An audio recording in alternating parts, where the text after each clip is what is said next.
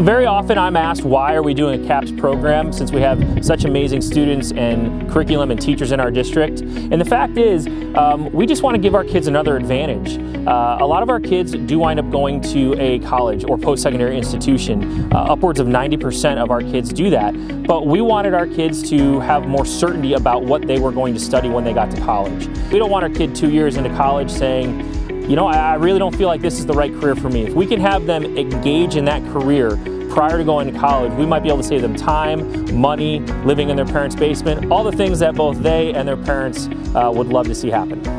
But the nice thing about this is that you can, it's not locking something in. Oftentimes if you take career courses for college when you're in high school, that's basically saying you have to do something with that because you've put forth the time and the effort and the money and you've gotten the college credits where you kind of almost lock yourself in and if you don't lock yourself in, that kind of puts you behind as you move forward. But this is, hey, I want to try this opportunity. It's something in the field. It's not saying you have, you have done this, you need to keep doing it. It's just kind of an exploration to kind of get your feet wet. And then you can say, hey, I really do like this. Maybe I want to do it more in the future. Or, no, that was not as fun as I was expecting. So I'm going to change it to something else. And it gives them the opportunity to explore everything. Just being able to relate and communicate to an adult, to other peers, to people they're unfamiliar with, the preparation work that'll go into it.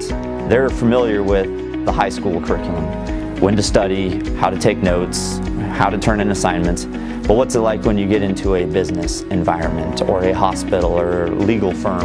How do they communicate with one another? How important is it to be prepared for work without anybody telling you what you're going to need the next day, what you're going to learn, when your project will be due, what else is going to get dumped on your plate in that time. I think the interpersonal skills are going to be developed at a very, very fast pace and they're going to have some interesting conversations with their parents about what professional life is like uh, and the eye-opening experiences that they do have out in the community. Another question that we're often asked is how do our business and mentor projects actually work? Uh, they are vital to the success of CAPS. You have to match the right business project and partnership with our student interests. And we want these to be mutually beneficial relationships. We want to be able to do things for businesses that maybe they don't have the resources for. And we want businesses to come back and say, man, those, those, CAPS kids did an amazing job for us and, and spread that word about how talented our kids are. And maybe those kids can then potentially intern with those businesses, maybe have a career with those businesses down the line, set up that networking at an even younger age for, uh, age for our students. We've had so many businesses that have been excited about what we're doing already, and so I hope that um, there'll feel like more of a connection there.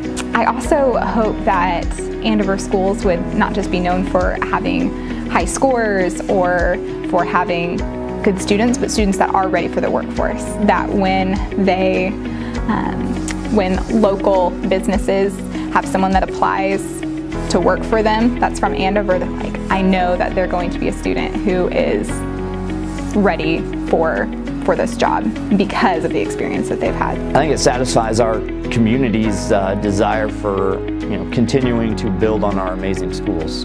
I moved here because of the school district. We hear it every summer from parents moving in. You know, they look at what academically we can offer kids at the two high schools, at the elementary schools, middle schools, and they choose us for that. This is just another competitive advantage for Andover to show now we have this Center for you know Professional Studies, Andover CAPS, where we have a standalone building. We have so many business partnerships. We have mentors for your kids so that as they grow and mature, they're becoming professionals while in high school. And so I think it's great for our community, it's great for our students, it's great for our citizens. Uh, everybody's going to benefit from this.